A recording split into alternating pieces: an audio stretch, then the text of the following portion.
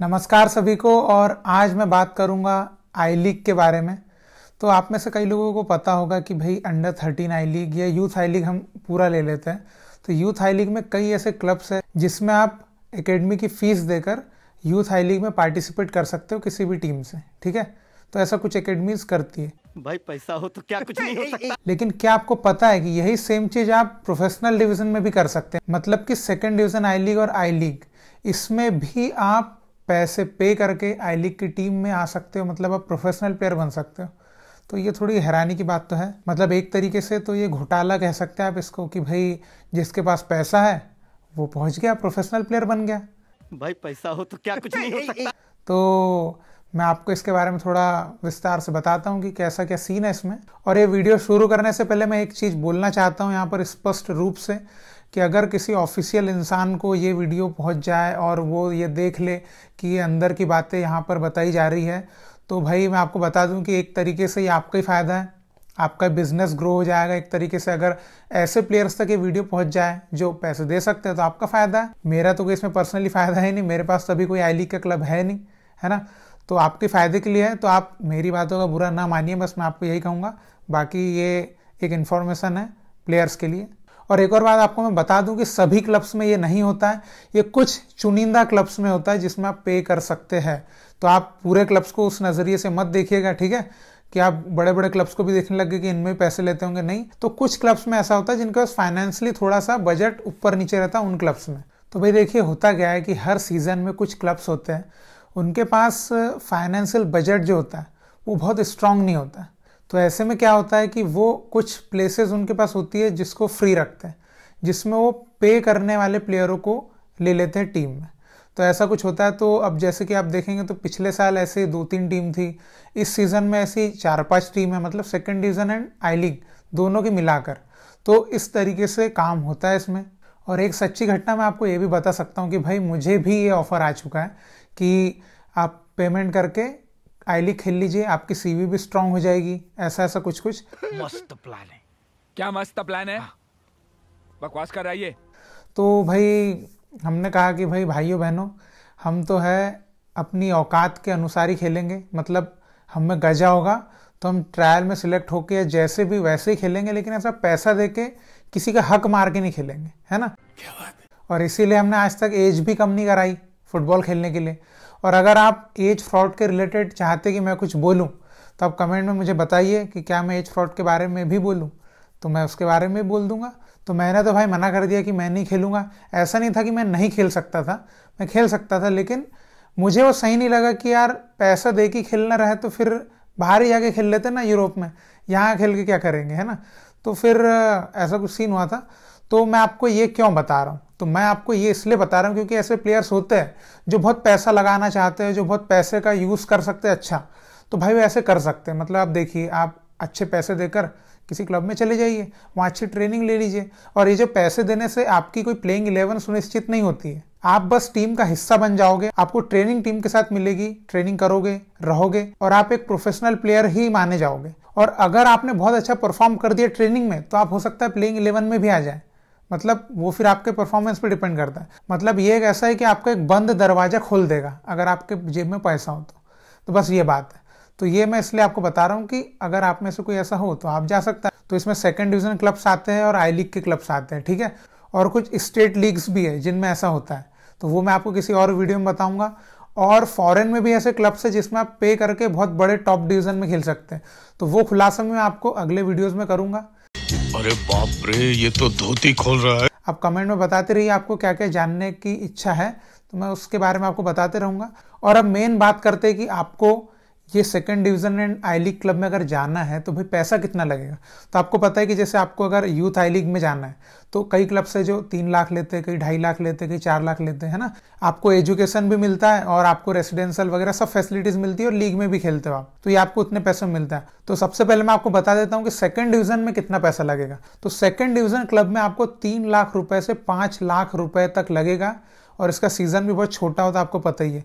अब इसमें आपके ऊपर है कि अगर आप उतने टाइम में परफॉर्म करके मेन टीम में आ जाए तो ये आपके लिए है, अच्छी बात। तो तीन से पाँच लाख तक सेकेंड डिवीज़न का प्राइस हो गया। उसके बाद अब आई लीग की बात करें तो वो पाँच लाख से स्टार्ट होता है, ठीक है? अब पाँच लाख से वो कितना भी ऊपर तक जा सकता है, ठीक है? अब मान लो कि एक ही प्लेयर की स्पेस है, ठीक है? अब उस पर तीन लोग आ गए तो हो सकता है कि वो रेट बढ़ा दें, है ना? तो मैं पिछले सीज़न की बात बताऊँ तो पिछले सीज़न में ये प्राइस जो था बारह लाख तक चला गया था। मतलब बारह लाख आपको आई लीग खेलने के लिए देना पड़ेगा। तो आप समझ सकते हैं कि इसमें बहुत पैसा लगता है। तो पाँच लाख से स्टार्ट ही होता है। तो कितना भी जा सकता है, ठीक है? तो आप उसके हिसाब से देख सकते हैं। तो आपको उतना पैसा लगेगा अगर आपको आई लीग खेलना है तो। तो मैंने आपको दोनों क्लब का बता दिया कि भाई इतना इतना पैसा लगता है और कुछ क्लब्स में ही लगता है। इस बात को आप याद रखिएगा। ऐसा नहीं सब क्लब्स को सोचने लगे कि हाँ इसमें भी लगेगा इसमें भी लगेगा। और क्लब का नाम मैं आपको भाई नहीं बताऊँगा ठीक है? यहाँ पर एक क्लब की रेपुटेशन की बात होती है उसकी इज़्ज़त की बात होती है प्रेस्टीज जो बोलते हैं ना तो वो मैं बिल्कुल भी बर्बाद नहीं करूँगा किसी भी क्लब की। तो क्लब का नाम मैं आपको नहीं बताऊँगा। और अगर आपको ऐसा खेलने की इच्छा है और आपको ये सोर्स तो पता नहीं होंगे हम कैसे खेलें।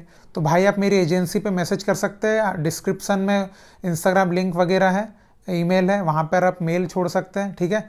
तो आपको अगर ऐसा खेलना होगा तो आपको बता दिया जाएगा जब वो चीज़ होती रहेगी कॉन्ट्रैक्ट साइन होते रहेंगे, ठीक है? और ऐसा भी नहीं कि आप बिल्कुल एकदम घटिया प्लेयर हो, है ना? आपको जगलिंग भी नहीं आती और आप बोलोगे कि यार मेरे को आई लीग खेलना है तो ऐसा भी नहीं होता। मतलब आपको थोड़ा सा उस लेवल का होना भी पड़ेगा। ऐसा नहीं कि बस आपने सोच लिया और मैं खेल लूँगा, ऐसा भी नहीं है।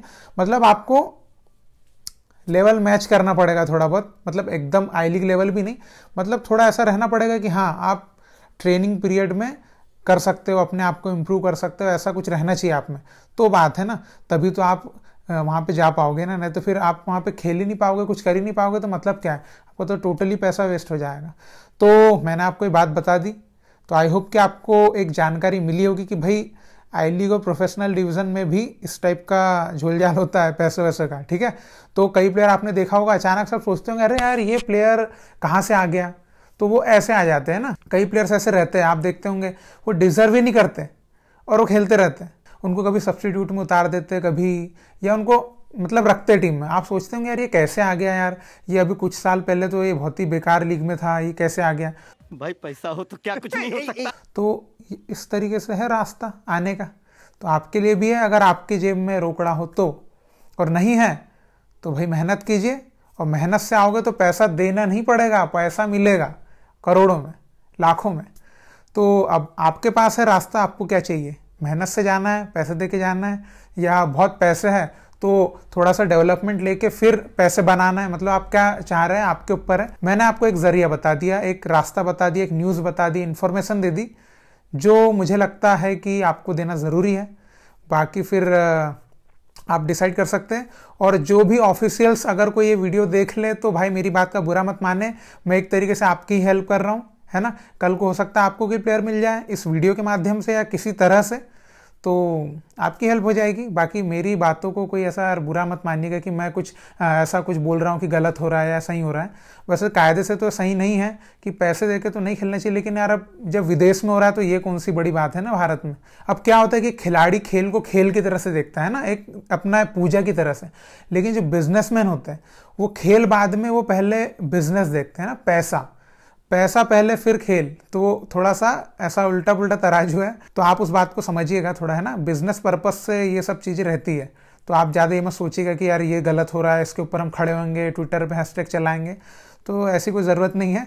ये एक बिज़नेस है स्पोर्ट्स एक बहुत बड़ा बिज़नेस है, एक बिज़नेस इंडस्ट्री है।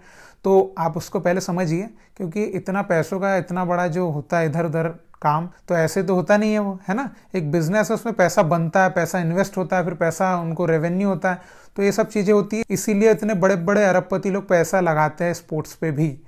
तो आई होप कि आपको कुछ हद तक बहुत अच्छी जानकारी मिली होगी।